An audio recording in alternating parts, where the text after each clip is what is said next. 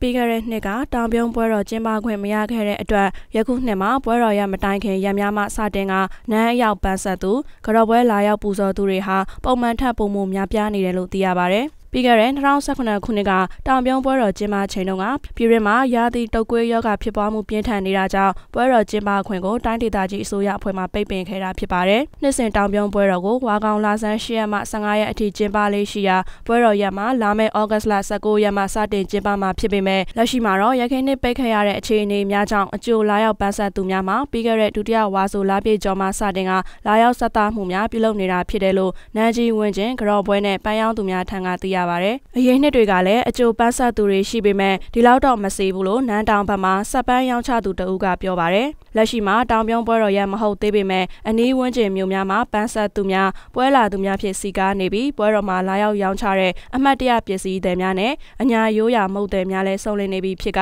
ရခင်ပွဲမတိုင်မီရများထက်ပုံမိုစီကားရောင်းချလျက်ရှိနေတာဖြစ်တယ်လို့သိရပါတယ်။နှစ်စဉ်အလေးထားအရာပွဲတော်မတိုင်ခင်ရများမှာမန္တလေးနဲ့အနီးဝန်းကျင်မြို့များမှာလာရောက်ပန်းဆက်လေးရှိပြီးဝါကောင်လာဆန်း9ရက်နေ့မှာစတင်ကလာရောက်သူများပြားကြောင်းအဲဒီနောက်ပွဲတော်စတင်ကျင်းပတဲ့လာဆန်း10ရက်နေ့မှာလာရောက်သူများပြားကလာရောက်သူအများဆုံးမှာမင်းတပါချိုးရတော်3ကျင်းပတဲ့ရက်ဖြစ်ပြီးအဲဒီရက်မှာမြန်မာနိုင်ငံအရရက်မှလာရောက်သူများနဲ့ဆာယာအဆက်အလိုက်လာရောက်သူများရှိကတရက်တည်းအတွင်းလူရေသိန်းချီလာရောက်လေးရှိတယ်လို့သိရပါဗျ။ယခုနှစ်တောင်ပြုံးပွဲတော်ကိုရခိုင်နှစ်များအတိုင်းစီကားမှုရှိရတဲ့ပြီးခဲ့တဲ့နှစ်ပွဲရနာခဲ့တဲ့အတွက်ဈေးသည်များအစဉ်ပြေစေရန်ဂောဘကအဖွဲ့မှကြမ်းမှတ်ဆောင်ရွက်ပေးခြင်းများလုပ်ကိုင်လျက်ရှိပြီးပွဲတော်အတွင်းလုံခြုံရေးနဲ့ကျန်းမာရေးဆောင်ရှောက်မှုများအတွက်လည်းပြီးခဲ့တဲ့နှစ်များထက်ပုံမအလေးထားဆောင်ရွက်သွားမယ်လို့သိရပါဗျ။